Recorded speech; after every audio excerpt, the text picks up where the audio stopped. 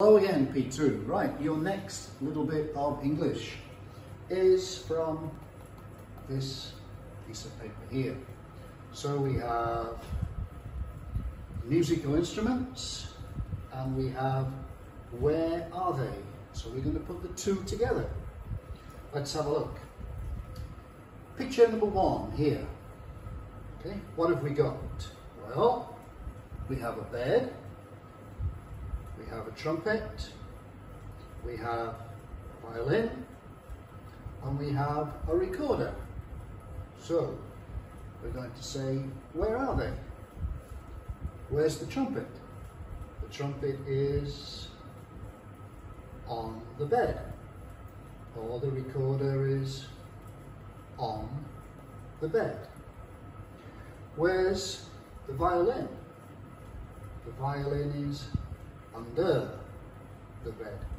The violin is under the bed. Okay? So look at picture two. What have we got in picture two? Well, there's a bookcase, some drums, a keyboard, and the accordion. So, where are the musical instruments? Well, we can use on. The drums are on the bookcase. Or we can use behind. The keyboard is behind the bookcase. Where's the accordion? In front of. The accordion is in front of the bookcase. So we can use behind or in front of. And then picture number three, what do we have?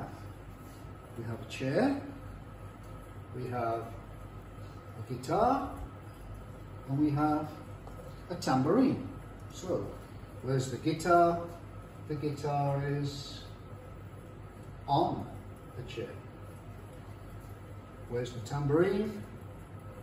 The tambourine is under the chair under the chair. So your little job is just to give me six sentences here.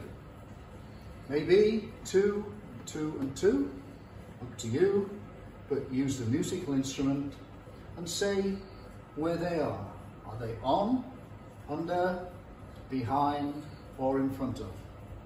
Okay, good luck.